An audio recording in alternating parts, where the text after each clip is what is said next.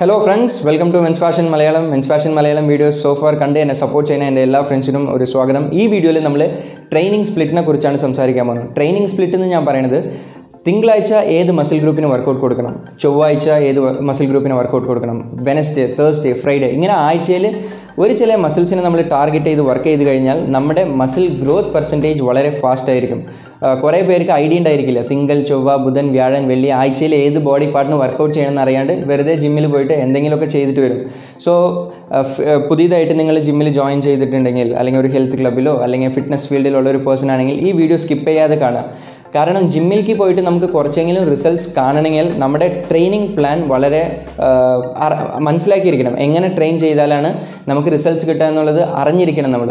So ഞാൻ basic തൊട്ടാണ് നിങ്ങൾക്ക് ടീച്ച് ചെയ്യാൻ പോകുന്നത് യൂഷ്വലി ഇപ്പോൾ നാട്ടിൽ ജിമ്മിലേക്ക് പോണ എല്ലാവരും ഹെൽത്ത് ക്ലബിലോ ജിമ്മിലോ പോണ എല്ലാവരും വന്ന് ഫോളോ ചെയ്യുന്ന ഒരു ട്രെയിനിങ് പാറ്റേൺ എന്താണെന്ന് വെച്ചാൽ ബ്രോ സ്പ്ലിറ്റ് ആണ്. ബ്രോ സ്പ്ലിറ്റ് എന്ന് ഞാൻ പറയുന്നത് തിങ്കളാഴ്ച ചെസ്റ്റ് മസിലിന് മാത്രം വർക്കൗട്ട് ചെയ്യും.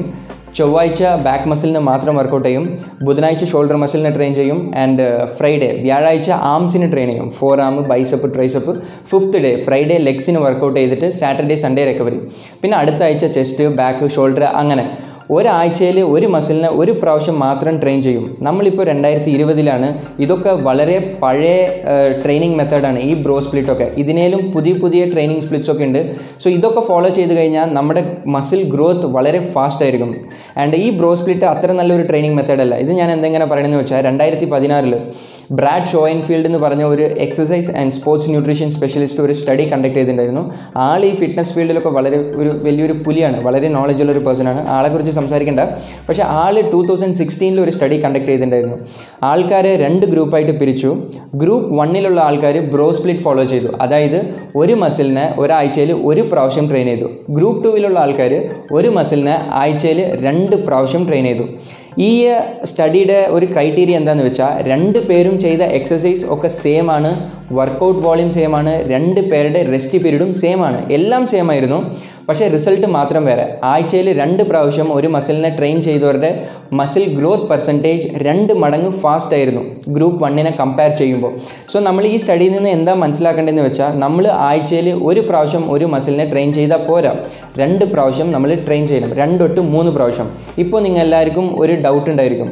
രണ്ട് പ്രാവശ്യം ട്രെയിൻ ചെയ്യുമ്പോൾ ഗ്രോത്ത് രണ്ട് മടങ്ങ് കൂടുതലാണ്. സോ ഞാൻ ആഴ്ചയിൽ ഒരു അഞ്ച് പ്രാവശ്യം ട്രെയിൻ ചെയ്താൽ എല്ലാവരുടെ മനസ്സിലുള്ള ഒരു കാര്യമാണ് എന്റെ ബൈസപ്സ് വളരെ ചെറുതാണ്.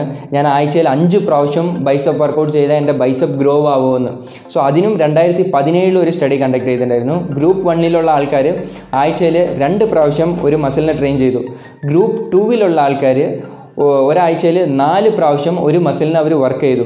സോ ഈ സ്റ്റഡിയുടെ എൻഡ് റിസൾട്ട് എന്തായിരുന്നു എന്ന് വെച്ചാൽ ആറാഴ്ചയാണ് ഈ സ്റ്റഡി കണ്ടക്ട് ചെയ്തത്. ആറാഴ്ച എന്ന് പറയുമ്പോൾ ഒന്നര മാസം ഈ സ്റ്റഡി പീരീഡ് കണ്ടക്ട് ചെയ്തിട്ട് ഫൈനൽ റിസൾട്ട് അവരുടെ മസിൽ ഗ്രോത്തിനെ അവർ റിസർച്ചേഴ്സ് റിസർച്ച് ചെയ്ത് നോക്കി. സോ അപ്പോൾ ഈ ആഴ്ചയിൽ രണ്ട് പ്രാവശ്യം ഏത് ഗ്രൂപ്പുകാരാണ് അവരുടെ മസിലിനെ ട്രെയിൻ ചെയ്തത്? അവരുടെ മസിൽ ഗ്രോത്ത് പെർസെന്റേജ് വളരെ കൂടുതലായിരുന്നു. നാല് പ്രാവശ്യം മസിലിനെ ട്രെയിൻ ചെയ്തവരുടെ റിസൾട്ട് അത്രയ്ക്കും നന്നായിരുന്നില്ല. ഇതെന്താണെന്ന് വെച്ചാൽ മസിൽ റിക്കവറി എന്ന് പറഞ്ഞിട്ട് ഒരു കാര്യമുണ്ട് അതെന്താണെന്ന് വെച്ചാൽ നമ്മളിപ്പോൾ മൺഡേ ചെസ്റ്റ് വർക്കൗട്ട് ചെയ്തു എന്ന് വെച്ചാൽ നമ്മുടെ ചെസ്റ്റ് മസിൽസിന്റെ ഉള്ളിൽ ചെറിയ ചെറിയ മൈക്രോ ടിയേഴ്സ് ഇതാവും. നമ്മുടെ മസിൽ ഡാമേജ് ആവും ബേസിക്കായിട്ട് പറയണമെങ്കിൽ സോ ആ മസിൽ റിക്കവർ ആവാൻ നാൽപ്പത്തെട്ട് മണിക്കൂറാവും. അതായത് രണ്ട് ദിവസം. തിങ്കളാഴ്ച നമ്മൾ ചെസ്റ്റിനെ ട്രെയിൻ ചെയ്താൽ ട്യൂസ്ഡേ ഗ്യാപ്പ് ഇട്ടിട്ട് വെനസ്ഡേ അല്ലെങ്കിൽ തേഴ്സ്ഡേ പിന്നെയും നമ്മൾ ചെസ്റ്റിനെ വർക്കൗട്ട് ചെയ്യണം. റിക്കവറി ഇല്ലാണ്ട് തിങ്കൾ ചൊവ്വ ബുധൻ വ്യാഴൻ വെള്ളി ബാക്ക് ടു ബാക്ക് നമ്മൾ ആ മസിലിനെ തന്നെ ഡാമേജ് ആകുമ്പോൾ കണ്ടിന്യൂസ് ആയിട്ട് ആ മസിൽ ഡാമേജ് ആവുള്ളൂ. ആ മസിലിന്റെ സെൽസിന്റെ സൈസ് ഇൻക്രീസ് ആവില്ല. സോ നമ്മൾ സ്മാർട്ടായിട്ട് ട്രെയിൻ ചെയ്യണമെങ്കിൽ നമ്മൾ ആഴ്ചയിൽ രണ്ട് പ്രാവശ്യം ഒരു ബോഡി പാർട്ടിനെ ആക്ടിവേറ്റ് ചെയ്യണം. സോ ബ്രോ സ്പ്ലിറ്റ് അല്ലാണ്ട് വേറെ എന്തൊക്കെ ട്രെയിനിങ് പാറ്റേൺസ് ഉണ്ടെന്ന് വെച്ചാൽ ഫുൾ ബോഡി വർക്കൗട്ട് ഉണ്ട്. അതായത് തിങ്കളാഴ്ച നമ്മൾ ഫുൾ ബോഡി വർക്കൗട്ട് ചെയ്യണം. ട്യൂസ്ഡേ ഗ്യാപ്പ് വിടണം. And Wednesday full body workout ചെയ്യണം.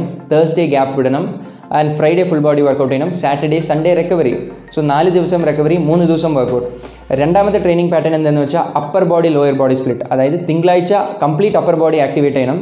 ചൊവ്വാഴ്ച കംപ്ലീറ്റ് ലോയർ ബോഡി ആക്ടിവേറ്റ് ചെയ്യണം. ലോയർ ബോഡി എന്ന് പറയുന്നത് നമ്മുടെ quadriceps hamstring calf muscle glute മസിൽസിനെയാണ് ഞാൻ പറയുന്നത്. Wednesday recovery and Thursday upper body workout Friday lower body workout Saturday Sunday recovery upper body split ഇത്.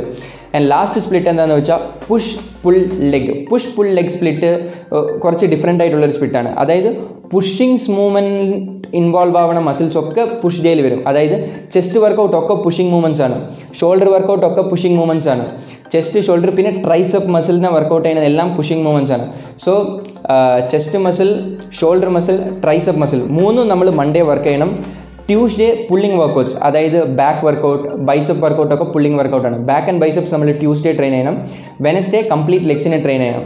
പിന്നെ അടുത്ത തേഴ്സ്ഡേ ഫ്രൈഡേ സാറ്റർഡേ പിന്നും പുഷ് പുൾ ലെഗ് ഈ സ്പ്ലിറ്റ് തന്നെ നമ്മളിങ്ങനെ റൊട്ടേഷൻ ചെയ്യണം. സൺഡേ മാത്രം റിക്കവറി ഇങ്ങനെ വളരെ സ്മാർട്ടായിട്ടുള്ള ട്രെയിനിങ് മെത്തേഡ്സ് ഒക്കെ ഉണ്ട്. നമ്മൾ ബ്രോ സ്പ്ലിറ്റിനെ വിട്ടിട്ട് ഇങ്ങനത്തെ ട്രെയിനിങ് മെത്തേഡ്സ് ന്യൂ ട്രെയിനിങ് മെത്തേഡ്സിൽ സ്വിച്ച് ആയി കഴിഞ്ഞാൽ നമ്മുടെ മസിൽ ഗ്രോത്ത് വളരെ നന്നായിരിക്കും. ഈ വീഡിയോ ഞാൻ എന്താ ചെയ്യാൻ റീസൺ എന്ന് വെച്ചാൽ പൊതുവേ ആൾക്കാർ രണ്ട് കാറ്റഗറിയിൽ വരും. റിസൾട്ട് കിട്ടാത്ത ആൾക്കാർ രണ്ട് കാറ്റഗറി ഒരു ചിലർ ബ്രോ സ്പ്ലിറ്റ് ഫോളോ ചെയ്യും പുവർ ട്രെയിനിങ് അണ്ടർ ട്രെയിനിങ് കാറ്റഗറിയിൽ വരും. ആഴ്ച ഒരു ഒരു മസിലിനെ ഒരു പ്രാവശ്യം ട്രെയിൻ ചെയ്താൽ വലിയ റിസൾട്ടൊന്നും കിട്ടില്ല. ഒരു ചിലർ ഓവർ ട്രെയിനിങ് കാറ്റഗറിയിൽ വരും. പെട്ടെന്ന് എനിക്ക് മസിൽ വരണമെന്ന് വെച്ച് അഞ്ച് ദിവസം ഹാർഡ് കോർ ആയിട്ട് വർക്കൗട്ട് ചെയ്യും. അങ്ങനെ വർക്കൗട്ട് ചെയ്യുന്നവരുടെ മസിൽ പ്രോപ്പറായിട്ട് റിക്കവർ ആവില്ല. ഒന്ന് അണ്ടർ ട്രെയിനിങ് അല്ലെങ്കിൽ ഓവർ ട്രെയിനിങ് കാറ്റഗറി ഇതിന്റെ രണ്ടിന്റെ ഇതിലും നമ്മൾ വരാൻ പാടില്ല. നമ്മൾ ആ മിഡിൽ ലെവലിൽ നിന്നാൽ മാത്രം നമ്മുടെ ബോഡിയിലെ മസിൽസ് അഡിക്വേറ്റ് ആയിട്ട് ഗ്രോ ആവുക. ആൻഡ് ഈ വീഡിയോ ഇഷ്ടപ്പെട്ടെങ്കിൽ ഒരു ചെറിയ തംസ് അപ്പ് ഹിറ്റ് ചെയ്ത് സപ്പോർട്ട് ചെയ്യുക. ആൻഡ് എന്റെ നെക്സ്റ്റ് വീഡിയോയിൽ ഞാൻ upper body lower body split എന്ന് പറഞ്ഞാൽ എന്താണ്? എങ്ങനെ പ്ലാൻ ചെയ്യാമെന്ന് ഞാൻ പറയും. ഫുൾ ബോഡി വർക്കൗട്ട് പ്ലാൻ ഞാൻ പറയും. ആൻഡ് അതേപോലെ പുഷ് പുൾ ലെഗ് എങ്ങനെ വർക്കൗട്ട് നിങ്ങൾ ഫോളോ ചെയ്യണം എന്നുള്ള ആ പാറ്റേൺ കുറച്ചും കൂടി ഡീറ്റെയിൽ ആയിട്ട് പറയാം. കാരണം ഈ വീഡിയോയുടെ ലെങ്ത് ഇപ്പം തന്നെ വലുതായി. സോ ഒരു പത്തിരുപത് മിനിറ്റ് തന്നെ സംസാരിച്ച ആൾക്കാർക്ക് ബോറടിച്ചു പോകും. സോ ഈ വീഡിയോ ഞാൻ വൈൻഡ് അപ്പ് ചെയ്യാം. നെക്സ്റ്റ് വീഡിയോയിൽ ഇതിനേലും നല്ല ഇൻട്രസ്റ്റിംഗ് ആയിട്ടുള്ള സ്റ്റഫോട് കൂടി നിങ്ങളെ വന്ന് കാണാം. Until that bye from Sanju.